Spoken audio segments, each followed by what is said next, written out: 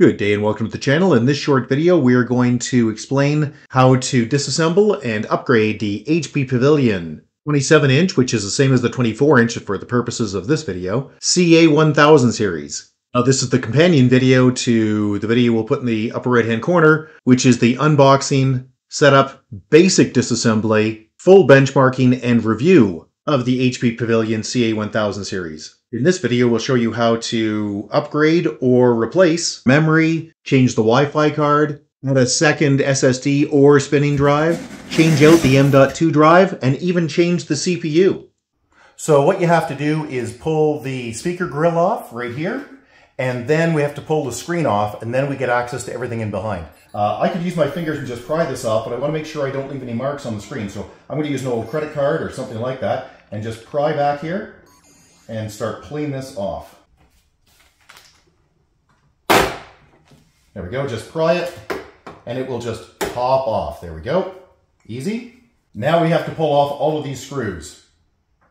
There's uh, probably seven or eight. Oh, and I see they've just used a regular Phillips. I don't need to use specialized screwdriver. That's kind of nice. So you can just go grab a regular Phillips screwdriver. Uh, pro tip, lay your screws out in the order that they come out. So um, that one's from there, I'm putting it here. That one will be going here, and so on and so forth.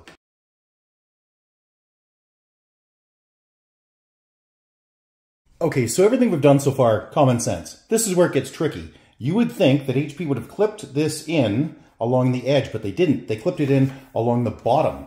So that means for you to pull this out, you see, just grab the bottom here and lift out, you have to disconnect, you have to unclip it from the clips that are holding it into the back. That's a challenge. You probably don't have proper tools, so I'm going to use an old credit card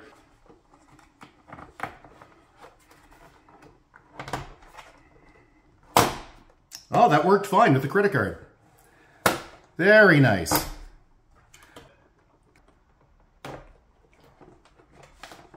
So I'm pushing that down, there it is, I'm pushing that down a bit and trying to pry it in. There we go. You can hear it popping along. That's the sound of joy.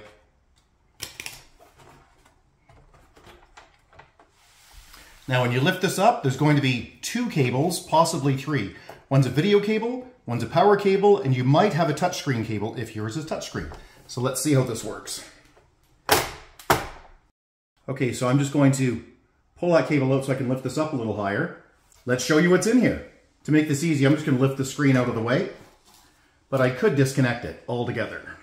Now, this is where HP has separated itself very nicely from Apple.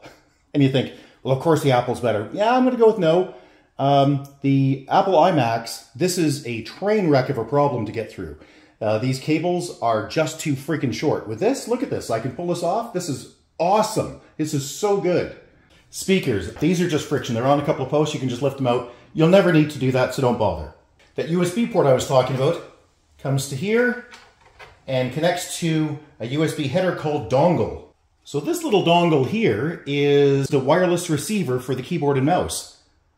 So if you ever change your wireless keyboard and mouse, because the one you have dies, you could pull the speaker grill off, which is pretty easy as we showed you, take this USB dongle, toss it, put the new one in.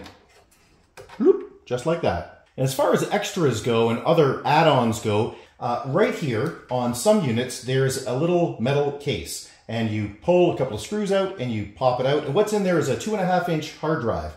And you think, well, why would anybody want an old school two and a half inch hard drive? I want the new M.2 SSDs. Yeah, okay, but when you can get a, a 20 terabyte spinning drive, maybe you want that extra space. Now, they didn't include the little chassis here. I can tell you from experience, however, you can also just double-sided tape this in the part you're really missing is the hard disk drive cable, but you get that at your local electronics store. And I don't, I'm not talking about Radio Shack or the source. I'm talking about guys that actually have computer parts, or you can find it on Amazon because it's a very small little cable that just whoop, goes over here and connects on the hard disk drive connector. That is your Wi-Fi card. And in the back here, there are two little cables.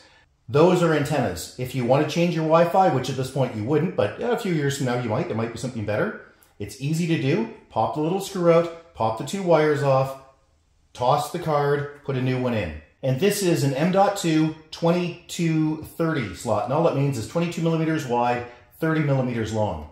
At least I think it's 2230. That's most likely what that is. This is a 2280. This is your hard drive. This is your solid state drive, and this is 22 millimeters wide, 80 millimeters long. If you ever have real trouble with the unit, you can pop this battery out and that will flush your BIOS and set it back to factory. Memory. Now I expected two 8 gig DIMMs, but instead they've only used one. Just pop that out.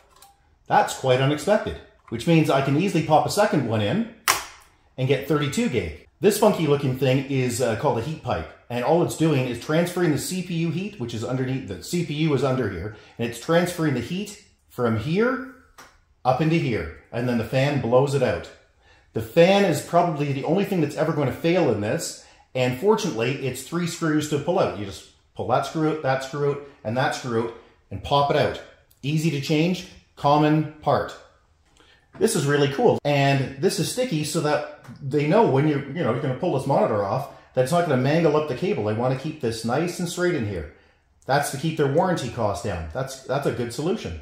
And one of the things I notice here is that this has a lever on it uh, beside the chip, which means if I pull these three screws out, I can lift this heat pipe unit off and I could pop this clip out and I could change the CPU. That's very, very unusual in an all-in-one. Usually they're soldered right on the board, but that's, uh, that's interesting. That means in the future, I could genuinely go get a different CPU and just pop it in. And it will just work, assuming that it's the same pin grid array underneath. If you don't know what that means, don't worry about it. It's a lot of weeds. If you had an add-on video card, it would go right here. And it would just pop on top right there. There are two connectors in here that I know you can't see, but trust me, they're there. Okay, I'm going to reassemble this now. Let's power it up and see how it works. It's very important that when you're putting this in, that you squeeze it in ever so gently on the edge. Do not do this on the screen or you'll do what we call bruise it and you'll have marks on the screen.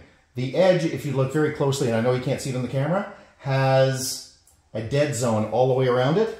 So just clip your way in as best you can.